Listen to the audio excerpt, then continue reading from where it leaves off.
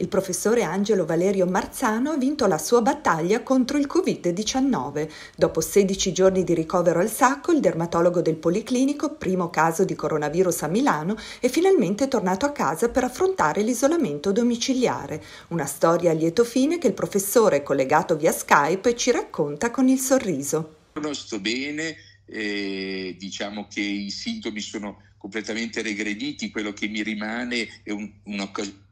tossetta secca e, e poi quella diciamo mh, mancanza eh, parziale del gusto e dell'olfatto. Raccontiamo un po' la sua storia, quando è iniziato, quando ha avuto i primi sintomi e poi tutto il percorso in ospedale. Sì, io dunque, eh, la storia è iniziata in realtà in un viaggio eh, legato alla mia attività, diciamo, universitaria, di professore universitario. Eh, ero, ero, andato per un board scientifico sulle malattie infiammatorie rare a Monaco e la notte del 20 eh, ho cominciato ad avere forti brividi. tuttavia il giorno successivo con un semplice antinfiammatorio sono riuscito a terminare questo board, a prendere l'aereo e ritornare a Milano però verso sera hanno cominciato a manifestarsi la febbre, la tosse e il, il raffreddore. Il giorno successivo ehm, la febbre è salita e quindi ho pensato, anche spinto dalla mia eh, compagna Tiziana che non è medico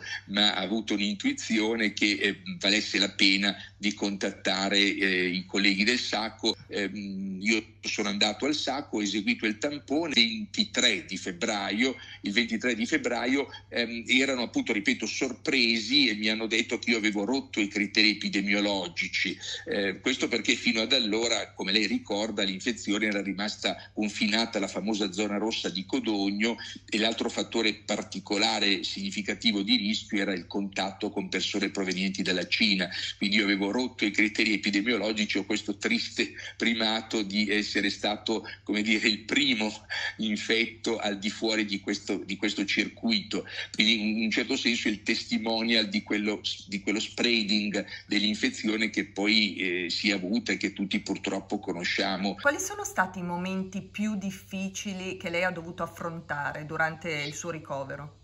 Eh sì, durante il mio ricovero ci sono stati due momenti dopo quello del, dell'aver saputo di essere positivo. Uno è stato in quinta giornata, eh, quando la febbre è salita. A questo i colleghi eh, hanno dato un'interpretazione che era corretta, poi è stata supportata da evidenze eh, successive per l'esperienza che abbiamo di questa forma ed è legata alla produzione di citochine, che sono molecole infiammatorie eh, che, c'è questo rialzo febbrile. Il secondo momento brutto è stato il 4 di marzo, quando sembrava fatta e, e invece appunto ancora la febbre è, è risalita e, e, e, una lastra eh, aveva evidenziato una, una, polmonite interstiziale non grave perché io per fortuna non ho mai avuto sintomi respiratori acuti, quindi per intenderci non ho mai avuto bisogno del, del dell'ossigeno né tantomeno della ventilazione assistita, però il polmone sembrava indenne e poi invece eh, lieve per fortuna polmonite c'era. Poi per fortuna la febbre è scesa eh, stabilmente in data 9 di, eh, di marzo eh, ho ricontrollato beh, l'indice di infiammazione, la PCR, che era salita molto e che invece eh, è scesa poi bruscamente, per fortuna la lastra era migliorata, in quell'occasione mi è stato fatto anche un tampone ehm, che è risultato negativo e ho potuto essere dimesso appunto per l'isolamento domiciliare. Che terapia le è stata fatta? Per me è stata fatta una terapia di associazione di due antivirali, un tempo usati nella terapia dell'AIDS,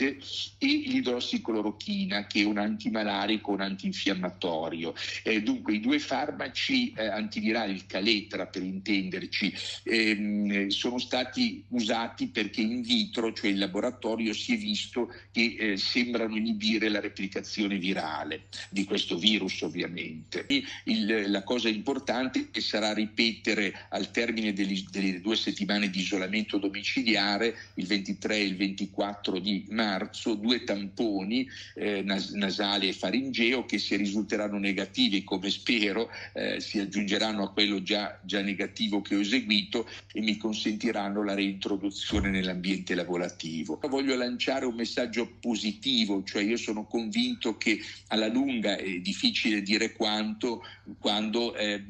ce la faremo, cioè io sono convinto che, che l'Italia ce la farà tra l'altro l'Italia in generale, in particolare se mi consente la, Regione Lombardia e la sanità della Regione Lombardia, pur nelle gravi difficoltà logistiche, tecniche, eccetera, eh, hanno dimostrato di essere da esempio, direi, per il mondo intero.